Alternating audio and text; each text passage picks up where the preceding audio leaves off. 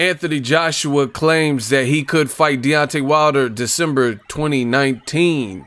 Do you believe him? That is the question. Stay tuned.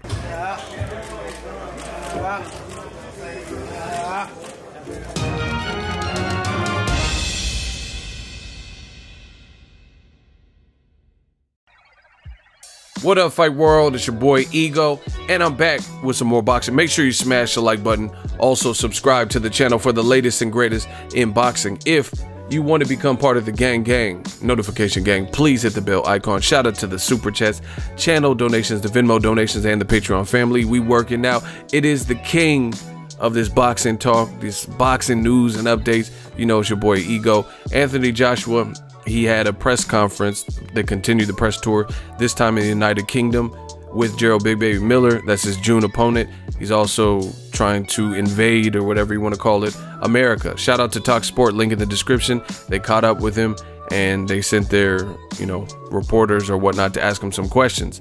Joshua says, I'm going to read it, and link is in the description so you guys can um, go check it out. Could it be Anthony Joshua claims there is potential to fight Deontay Wilder in December. Tyson Fury bout could happen sooner. Hmm, you know, obviously interesting. And it says Joshua's next fight seems to see him take on Jarrell Miller, which we already know. Let's let's get right into it.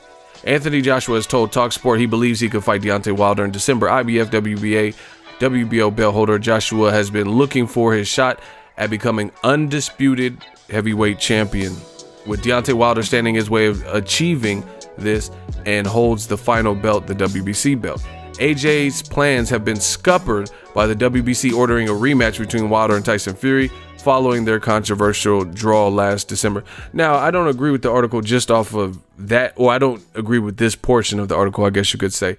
Joshua, all this scupper, you know, Joshua could have fought Wilder last year before he fought Povetkin, and then we wouldn't have worried about this fight you see on screen, Tyson Fury stepping up, and then we wouldn't we wouldn't have had that, and then you know ESPN they could have signed Tyson Fury back when he was fighting Steve Cunningham, but it took for this fight for them to see the Tyson Fury story and you know the getting up in the 12th round to show interest in him. So really this was a ripple in the pond effect and it was all created by Joshua because had Joshua done what the fans wanted him to do, which was fight Wilder last year, then we would already be talking not about Joshua versus Jarrell Miller and reconstructing Miller's face and all this stuff. We'd be talking about Wilder versus AJ rematch at this point. You know, and it wouldn't be the news wouldn't be AJ versus Jarrell Miller. You know, is Wilder gonna fight Breazeale or who's he gonna fight? And Tyson Fury just got this ESPN deal. Does that separate this? It's so this all is predicated from AJ's side because he had the opportunity and he was the the Willy Wonka. He's the guy that had the Willy Wonka gold ticket. But let me continue. Fury signed a new deal with U.S. broadcaster ESPN last week, which I just mentioned, seemingly put any future bouts between the trio in jeopardy. However, Joshua is optimistic of fights in the future happening. And Joshua said there will be a window of opportunity to arrange a December fight with Deontay Wilder. Read this closely.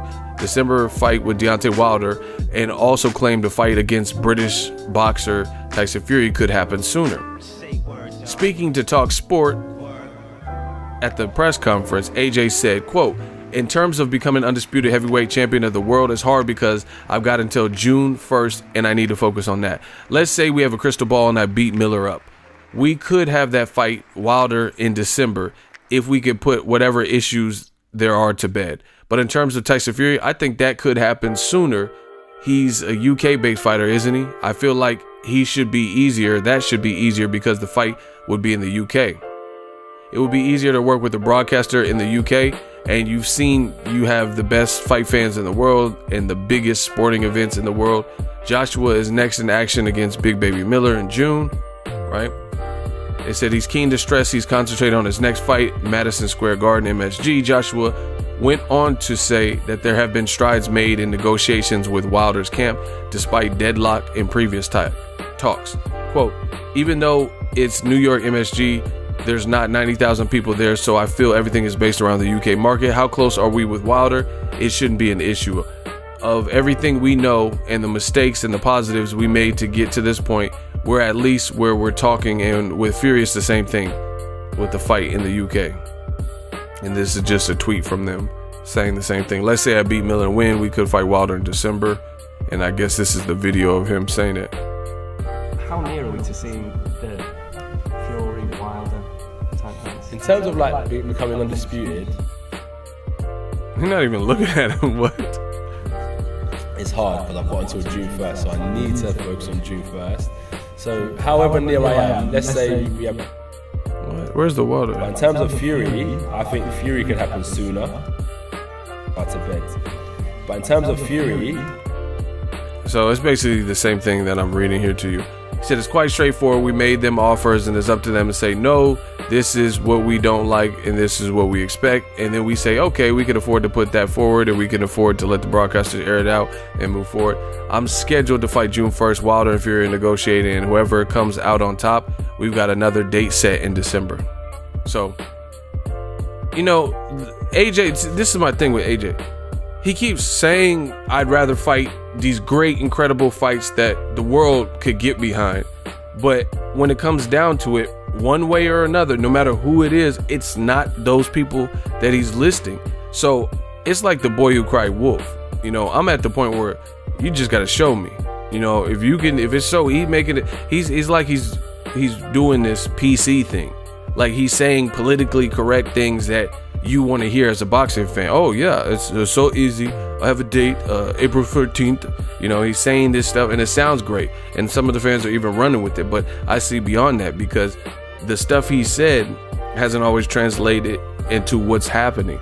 Like he said before Jarrell Miller fight was announced, right? Before the flyers were made, they were asking him, Ak and Barak on DAZN. It's on their YouTube. They said, who you want to fight if Wilder ends up fighting Fury, which everybody thought was going to happen, Wilder Fury 2. Who do you want to fight next? He's like, his first name out of his mouth, Luis King Kong Ortiz. That's a good fight. And he was on like the Breakfast Club or Sway recently when he came to New York for the presser. And he said Luis Ortiz's name. Why do you keep mentioning Luis King Kong Ortiz? He's talking greasy about you, saying you ducked Wilder, saying you don't want it with me. You know, he's saying I'm an old man, and no matter what my age is, I'll still work him over. And you're mentioning this. This seems like clout chasing because he keeps mentioning a fight with Luis Ortiz. But why didn't you target him over Jarrell Miller? Miller is not your mandatory. You know. In fact, Dominic Breazeale, at least one of the sanctioning bodies, or excuse me, not Dominic Breazeale, Dillian Whyte with one of the sanctioning bodies is ranked higher than Jarrell Miller. So why didn't you fight at least Dillian Whyte, which the whole world thought you were fighting? So, you know, I'm at the point where with Joshua, it sounds good. You won him disputed, and he's making it sound easy, but it's always a problem. He's like, oh, it's enough food. It's enough food. It's mad. It's, it's enough food to eat. But it doesn't sound like it's enough food because Dillian Whyte's complaining about pay. You know, Luis Ortiz got offered a Dillian Whyte from your, you know, the same parties involved you know, got an offer to fight with uh, Dillian Whyte, or Luis Ortiz got a Dillian Whyte offer, and he said the, the money was funny. You know, Wilder was complaining about the flat fee. So, you know, it doesn't, it sounds good, but it doesn't sound like that's the case. Oh, yeah, it's enough. It's enough food to go around. It's enough. Doesn't sound like it because people keep complaining that there's being offered peanuts. And then, you know, Joshua, like I said, some of the stuff he's saying sounds so scripted. Sounds like he's reading a script and it's like a rehearsed play or something. He's talking about a fight with Tyson Fury would be easier. He said it would be easier than a, a Deontay Wilder fight because they're both based out of the UK, right? That to me, I don't see that because Tyson Fury, his big announcement was he had teamed up, him, Frank Warren, Queensberry Promotions, teamed up with a US broadcaster. So that could complicate things, presumably for Wilder, because he already has a US broadcaster. You see, the first Wilder Fury fight was no problem because Wilder had been fighting on Showtime and Tyson Fury had been fighting on Frank Warren cards, and that's on BT Sports. So you had no conflict there. You had Showtime, who takes care of the US stuff primarily. I'm not saying they, you know, they just did Chris Eubank um, versus James DeGale, but I, what I mean is their home base and majority like their their immediate market uh, ITV and Showtime that you know that's something that they've dabbled in. Like they covered AJ versus Charles Martin AJ versus Joseph Parker in these fights but their immediate market is the American market. That's where they're founded based out of CBS is from etc that's the parent company. So if anything Fury announcing the ESPN deal kind of creates that riff where we don't know if the Wilder fight's easy to make. But for Joshua, what he's saying is, hey, in terms of Tyson Fury, I think a fight could happen soon. Look, he's telling you this. That's what I'm saying. That's why it sounds scripted. He says, in, in terms of Tyson Fury, I think it could happen sooner because he's a UK based fighter, isn't he? But there's actually, in my view, more complications there because you guys, true, you're both UK fighters, but you're both UK fighters who have fought historically on different UK networks that don't particularly work together. You know, BT Sport. So BT and Sky, Sky Sports, BT Sport, right? Those are two different entities. It's like HBO and Showtime in America. So he's saying that I, I would see the Wilder fight is probably easier to make with Joshua, you know, than than the UK because clearly AJ versus Tyson Fury is a UK fight, and then the big the big issue would be how would they do that a joint venture? You know, furthermore, isn't this what AJ Man fans have said regarding the $50 million? They said, oh, the $50 million, AJ couldn't accept it. Why not? Because Frank Warren said the money came from BT Sport. So, you know, it's the AJ fan base, a lot of them are all over the place. You know, one minute they say he can't accept 50 million because the money was they came up with Haymon came up with the money, Wilder came up with the 50 million from BT Sport, right? So he couldn't accept it. Now AJ's telling you that it's easier to make a Tyson Fury fight because we're both from the UK. And we know he, he even says it. He says easier because the fight would be in the UK. But if that's the case, then why couldn't you take the $50 million from BT Sport allegedly. I don't even know if that's true, but allegedly. I'm just going off of what the fans have said. You know, so this whole thing is a mess, and you know, I wouldn't be surprised if we don't get none of the marquee major fights that we want until this is sorted out. Let me know what you guys think. Drop your thoughts in the comment section. Joshua seems optimistic, but again, he's also been in the he had that do-rag on, a black do-rag, you know, it looked like he was in a white car, white upholstery in the past, and he said, I don't, oh I don't want to fight Alexander Povetkin. I'm not looking to fight Povetkin. I want, I want to fight Wilder, right? And then he fought Povetkin. So seeing is believing. Let me know what you guys think. He's optimistic that he, uh, he could fight Wilder in December. Show me. Like I always say, LSI, let's see it. Will Joshua become undisputed this year? You know, and, and he can't even look too much past Jarrell Miller because I think that's a tougher fight than a lot of people are or and he's kind of alluded to that in this interview like hey i don't want to you know disrespect Jarrell Miller in that way by looking past him. But you know i the heavyweight division there's a lot of issues. We got to see how this all plays out.